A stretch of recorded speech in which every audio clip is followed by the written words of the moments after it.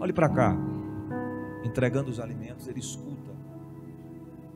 E quando ele escuta, ele não se conforma em ouvir a afronta do inimigo. Repita assim comigo: ele não se conforma em ouvir a afronta do inimigo. Agora bate no peito e diga assim: eu não posso me conformar com afronta do meu inimigo.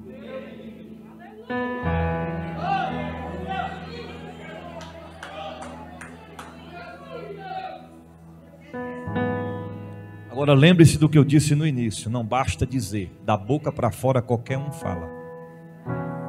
Da boca para fora qualquer um diz: vamos guerrear, vamos pelejar, vamos para cima, vamos vencer. Eu vou lutar, eu vou conquistar, eu vou conseguir. Qualquer um fala. Falar é uma coisa, fazer é outra coisa. Porque as estratégias que o diabo tem usado na atualidade são completamente diferentes das do passado. Eu lembro que quando eu tinha 8, 9 anos de idade, não tinha um culto que um demônio não manifestava. Não tinha um culto que quando terminava, as pessoas pediam oração e quando os obreiros impunham as mãos sobre elas, elas não manifestavam demônios. Não tinha um culto que milagres não aconteciam. Aí você vai dizer: Senhor mudou? Não, ele continua o mesmo. E passarão os céus e a terra, mas as minhas palavras não hão de. Eu sou o que sou e não, não mudo. Ele é o mesmo ontem, Ele é o mesmo hoje, e Ele é o mesmo eternamente. Quem é Ele? Ele esteve no passado, Ele opera no presente e trabalha para o nosso futuro. E Ele está presente aqui nessa noite.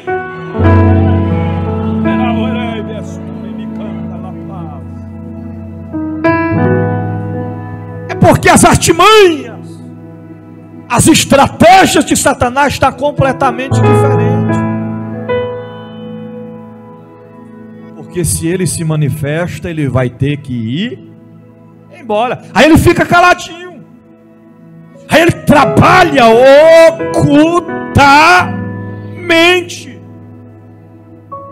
Ele não quer mais ter o ímpeto de adentrar o corpo das pessoas e se tornar visível, e se tornar apresentável, visível e palpável aos olhos de todos. E como é que ele faz?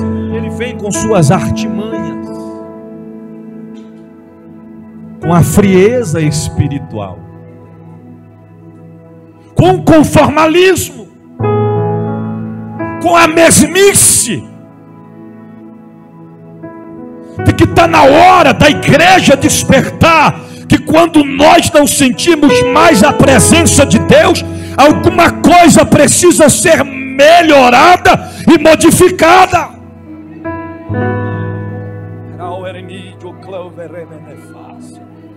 O problema é que a geração da atualidade ocupa o seu tempo na novela e se esquece de assistir a pessoa fala: Eu não tenho tempo para orar, eu não tenho tempo para ler a Bíblia. Assiste pregação, em vez de ocupar o tempo assistindo novela, vai assistir pregação, vai assistir palavra, em vez de perder tempo assistindo Fazenda, assistindo Big Brother, vai ocupar tua mente com as coisas de Deus.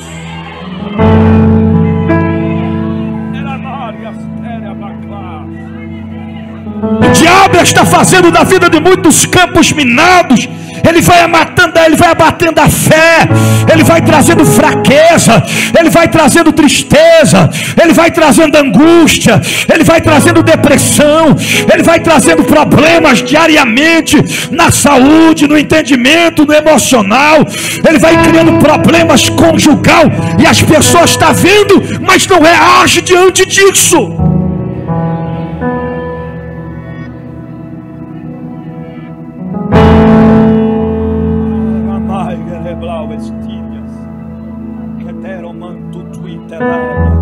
Na hora da geração da atualidade decidir. Decidir o que, bispo? Se vai levantar, lutar e vencer.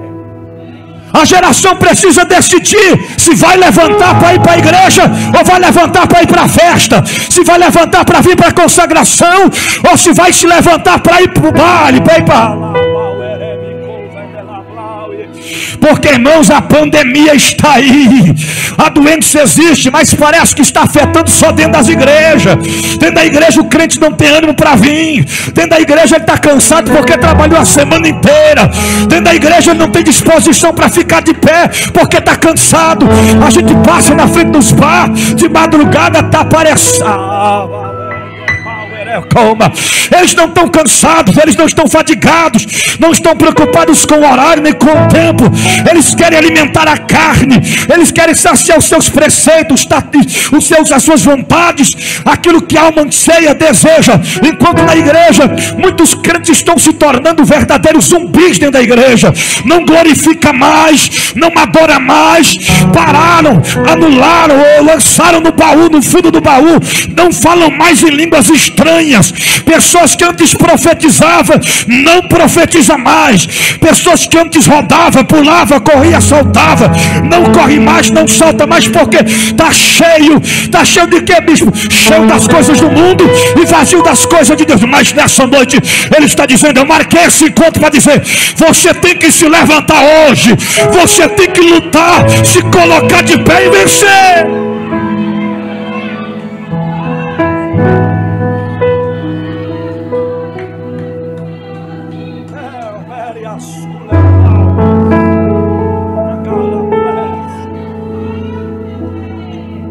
Ontem eu, olho pra cá, ontem eu fui fazer uma visita na casa do Diácono Ferdinand. E eu saí da casa dele, era mais de meia-noite. Quando eu estou subindo o morro com o carro, uma ladeira, eu olhei de longe e ouvi uma obra diabólica. Irmão, na metade do morro eu voltei, eu não me conformei, eu falei, vou voltar. Parei o carro do lado, peguei o óleo, joguei o óleo e disse: Eu declaro em nome de Jesus esta obra quebrada, este decreto anulado, essas vidas que seriam afetadas, eu repreendo pelo poder que é no sangue de Jesus.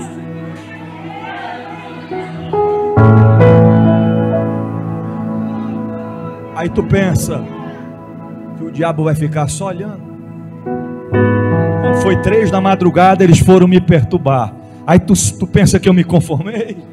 Aí eu peguei o óleo e disse: agora eu vou ungir a casa, eu vou ungir as crianças, eu vou ungir a esposa, eu vou ungir as, ungir as portas, porque nós temos que guerrear, nós temos que partir para a guerra. Não é tempo da igreja ficar na defesa, é tempo de levantar, se colocar de pé, é tempo de lutar, é tempo de vencer, é tempo de enfrentar os demônios, é tempo de enfrentar as afrontas, é tempo de enfrentar os gigantes e ter vitória da parte de Deus para a nossa vida.